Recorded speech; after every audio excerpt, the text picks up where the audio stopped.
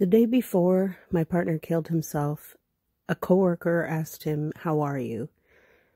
It's a really common turn of phrase, and he just automatically answered, Fine. Um, he was telling me about this that evening.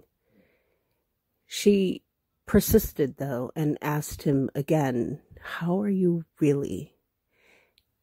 And he just didn't know how to respond. Fuck. ah, my notifications. Great.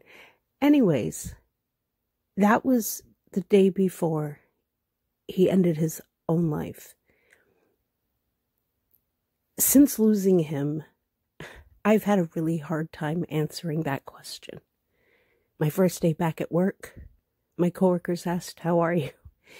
And I started to say, Fine. And I teared up. I, I couldn't say it. It was a lie. I couldn't say it. I've always had trouble with lying, probably because we used to get in really big trouble as kids.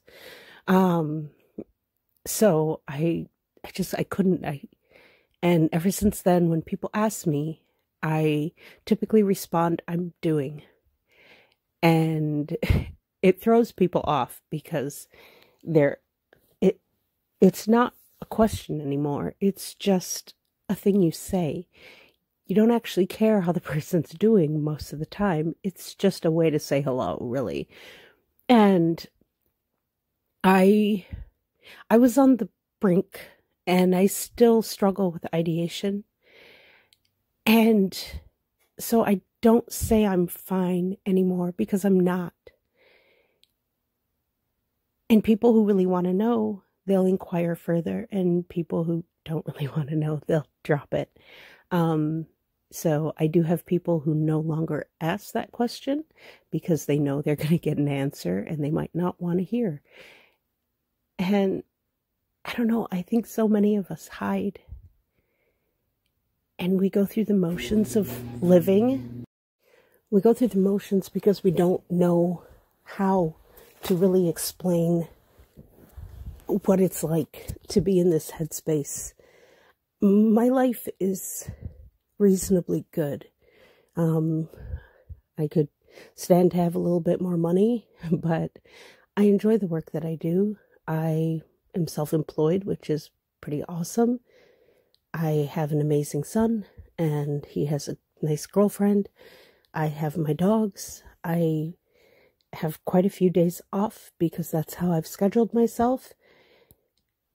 I overall I have a decent life, but I feel empty constantly. I feel like a shell. Things that give me joy don't really give me joy anymore, or if they do, it's so fleeting. It just slips away. It's easier to just hide and not open up and not share how you're really feeling. Because it's complex, it's confusing. I don't even understand how I'm feeling because it's so many layers of emotions and thoughts, and a lot of it doesn't make sense. At least not to me. Um, it's it's an imbalance in the brain, and I don't know. It's it's a lot, and it's hard to explain to people, and so we just shrug our shoulders and say we're fine when we're not. Or you get people who over dramatize everything. There is always the flip side to everything. Holy fuck.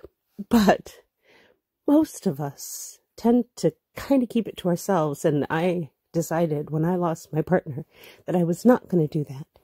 And maybe I overshare, but I figure I'm not alone. I know I'm not. There's other people out there that struggle, that don't know how to speak out, that don't know how to get help, whether it's from a medical professional, a friend, family member, someone, they don't know how to ask for help. We are our own advocate. We have to advocate for ourselves, advocate for ourselves. We have to stand up. We have to speak out for ourselves you can't rely on someone else to save your life if you're struggling. You have to do something. You have to speak up because he had so many people there that would have helped him. I would have done absolutely anything. He just had to ask. And he didn't ask and he didn't speak up.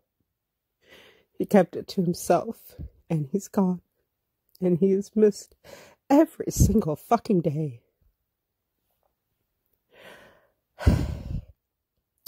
That's my big message. There's so many people hiding in the shadows. I don't know. We got to speak out for ourselves and we got to help each other more. Because this has to end. There's too many of us dying or on the verge. Ciao.